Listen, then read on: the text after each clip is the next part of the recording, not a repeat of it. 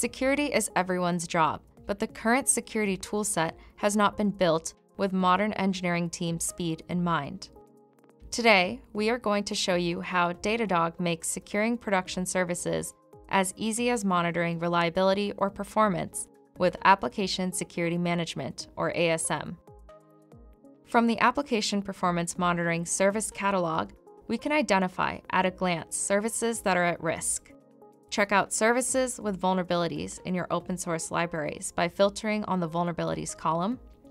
As an example, this service has 24 critical vulnerabilities. We can find out which libraries need to be updated right now by clicking See Vulnerabilities in ASM. As an example, this Log4j library is vulnerable and puts two services at risk. The next step here would be to involve the relevant team.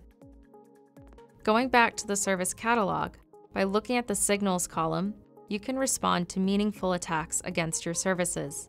Here, we notice that user auth doesn't have ASM enabled on it, yet it has high signals.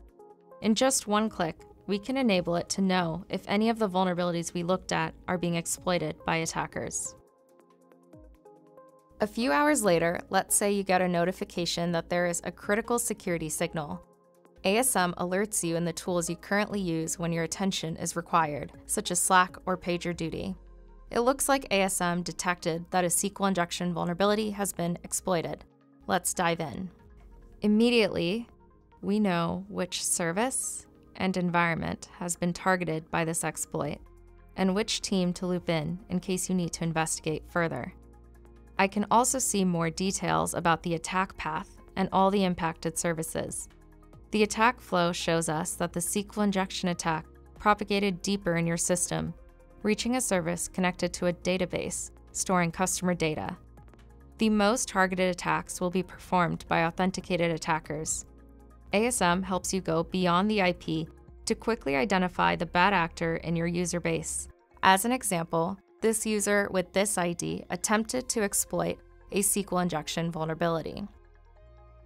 The challenge here, though, is that you know there's an attacker in your environment who can cause more harm as you wait for your relevant teams or as you go about fixing the vulnerability. We'll choose to slow down the attacker by blocking this IP for 12 hours as we work to patch the vulnerability in our code. Now that we have stopped the attacker, we have time to investigate further and see what exactly needs to be fixed in the code base so this doesn't get exploited again. We can easily identify the endpoint that was targeted with the SQL injection pattern that then got executed by the database. This proves that the endpoint is indeed vulnerable to SQL injections. This brings us to the end of our demo. You're now one click away to secure your web apps and APIs with Application Security Management. Enable ASM today or start a free trial from our website.